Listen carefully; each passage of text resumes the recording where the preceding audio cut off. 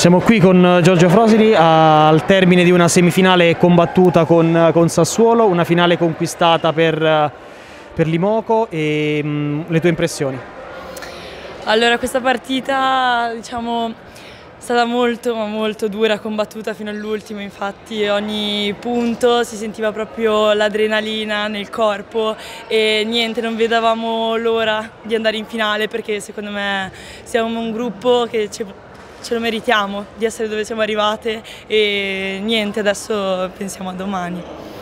A distanza di una settimana, un'altra un finale, eh, tu sei stata tra le protagoniste del, del campionato mondiale Under 20 vinto dalla, nazio, dalla, nazionale e ora di nuovo una finale domani contro il Bollero Casal de Pazzi per la, lo scudetto Under 19. Allora, vabbè, cioè un'emozione incredibile, io non ci credo, cioè dopo aver vinto il mondiale, adesso anche una finale scudetto, non so cosa chiederei meglio sinceramente.